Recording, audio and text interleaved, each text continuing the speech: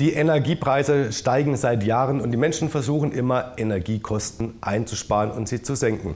Unser Experte Michael Maurer von der Energieagentur Ravensburg wird uns heute erzählen, wie wir mit einfachen Mitteln Kosten einsparen können. Herzlich willkommen, Herr Maurer. Hallo, Herr Baunach. Jetzt sind wir hier in der modernen Küche. Sieht doch im ersten Moment alles ganz gut aus, oder?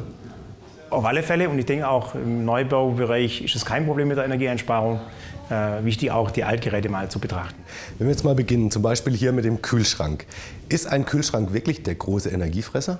Also im Haushaltsbereich macht äh, der Bereich Kühl-Gefrieren etwa 20 Prozent des gesamten Strombedarfs aus. Äh, klar, jetzt hier in diesem Neubau natürlich entsprechend weniger, weil einfach neue Geräte auch weniger Energie benötigen. Daneben haben wir zum Beispiel jetzt den Backofen. Viele machen sich ja einmal die Woche eine Pizza. Ist das überhaupt sinnvoll? Ich muss den Ofen vorheizen, verbrauche eigentlich wahnsinnig viel Energie. Kostet mich die Pizza am Ende dann wesentlich mehr? Also im Endeffekt mal so, Pizza braucht ungefähr eine Viertelstunde. Bei 2 kW Heizleistung des Ofens sind wir da ungefähr so bei 10 bis 12 Cent, was eine Pizza warm kostet. Sie hatten jetzt doch im Vorgespräch was Interessantes gesagt. Und zwar, wir haben hier den Backofen, hier den Kühlschrank. Und dazwischen ist ein Fach. Und die sagen, so sollte es sein. Warum? Ganz einfach, weil der Backofen wird entsprechend ja, sagen wir, bei der Pizza 200, 250 Grad warm.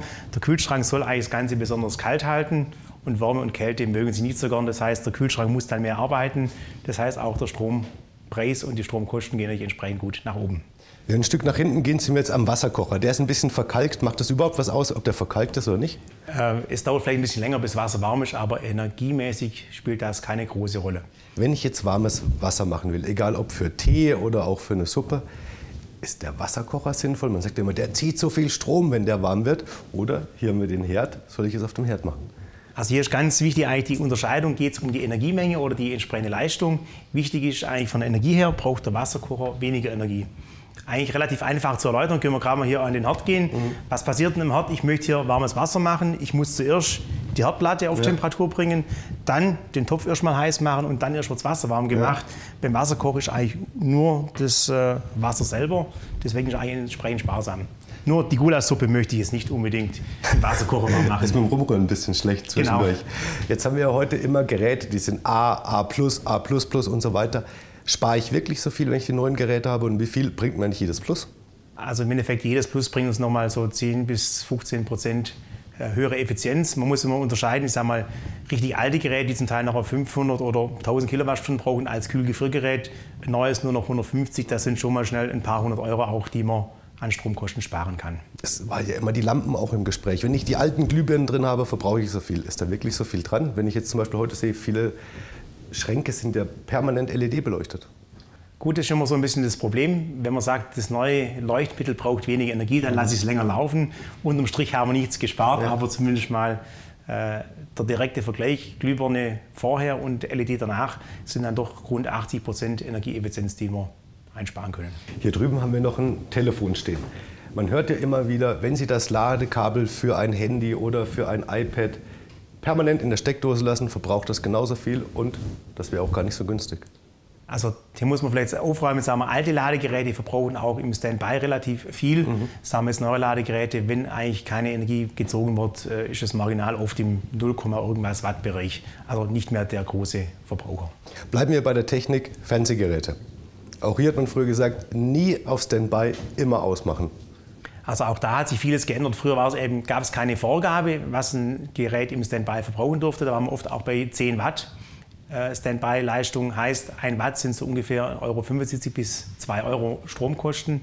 Das hat früher wirklich was ausgemacht an der Stromrechnung. Neue Geräte sind eher im 0, Watt Bereich. Da ist es eigentlich vertretbar. Wenn wir jetzt mal die Küche oder den Wohnbereich verlassen, welche Geräte sollte ich noch im Auge haben, um Energie zu sparen? Also haben wir noch einer der größten Stromfresser im Haushalt ist immer noch die Effizienzpumpe unten oder die Umweltpumpe an der Heizungsanlage. Äh, alt gegen neu haben wir da teilweise auch Einsparmöglichkeiten von bis zu 80 Prozent. Jetzt möchte ich am Ende noch ein Thema ansprechen. Und zwar habe ich gehört, es gibt ja die neuen Stromtrassen in den Süden. Die kommen jetzt nicht so. Es wird drei Jahre Verzögerung. Und es hat geheißen, im Norden wird der Strom günstig werden und im Süden wahrscheinlich sehr teuer. Also wir bilden eigentlich zwei Zonen. Kommt das so und wissen Sie schon ungefähr, wo der Strompreis hingehen könnte?